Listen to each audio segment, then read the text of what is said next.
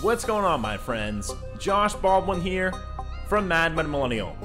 In this video, we're going to talk about the 31 states that have been approved for $281 to $1,691 in max SNAP emergency allotments arriving in the month of December. We're also going to discuss which states were approved for $391 PEBT, as well as what other benefits you can soon expect to head your way in the month of December. We are also going to talk about brand new food benefits being offered to low income families in Missouri, as well as a new federal bill aimed at helping residents of Kentucky with their home heating bills. And lastly, we're also going to discuss some very important information regarding the Temporary Assistance for Needy Families program, among other updates. You can do me a giant favor by tapping those like and subscribe buttons. And let's get into this breaking news update regarding the latest SNAP and EBT benefits information. This information changes on an almost daily basis, and it's my job to keep you informed with the latest updates. So make sure you watch every single video and watch all the way through so you don't miss out on the most current information.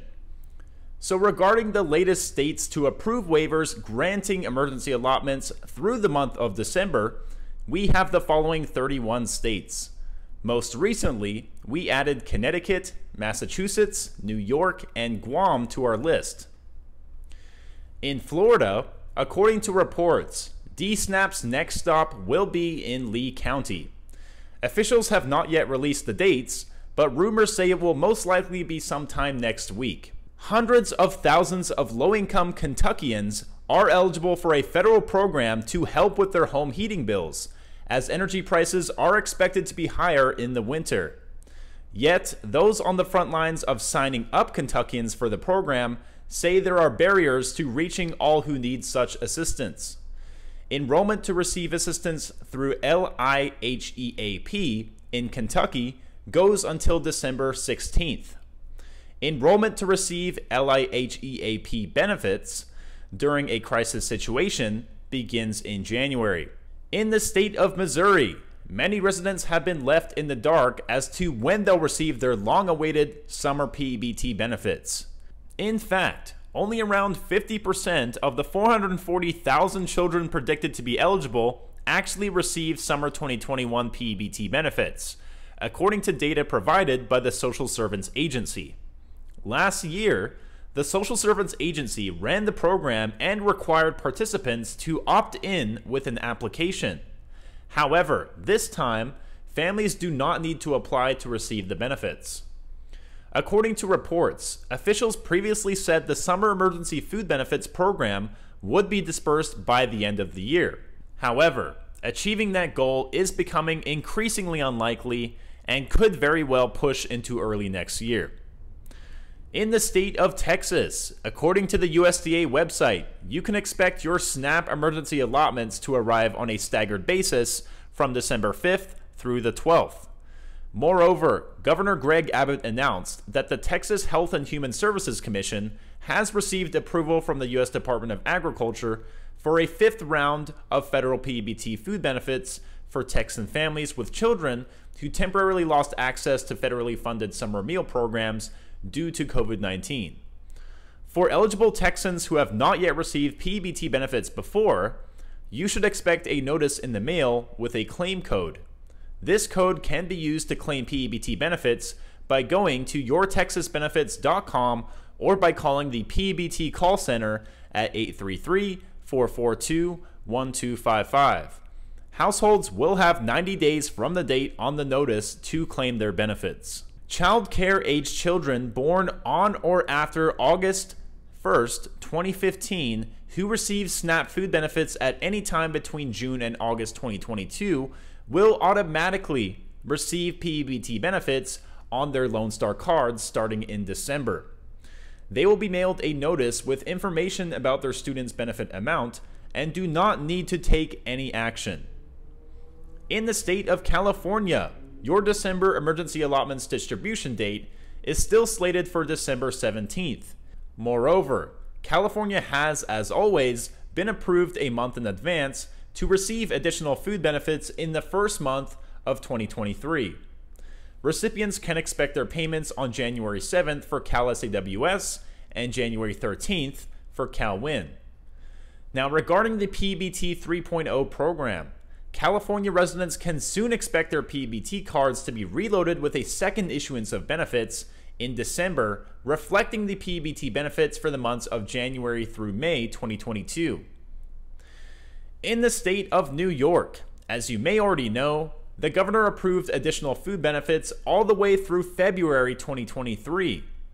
For the month of December, in New York City, supplements will be issued December 13th through December 27th, with benefits being available the next day following issuance in most cases. In rest of state districts, supplements will be issued December 12th through December 15th and December 18th through December 22nd. As the holiday season approaches and price hikes from inflation continue, many families across the US are struggling financially. And now that the cold winter months are here, people are looking for a way to keep the heat on and provide food for their families. Each state has a temporary assistance for needy families program that you can apply to for help getting back on your feet. The TANF program bases eligibility on your income, and it also depends on which state you live in. For example, the maximum monthly gross income limit in Mississippi for a family of three is $680. For California, your family must not have more than $2,250 in income resources. Some other requirements could include having at least one of the following in your family someone who is pregnant, a dependent under age 18, or a dependent in college. So, how long can I receive TANF assistance?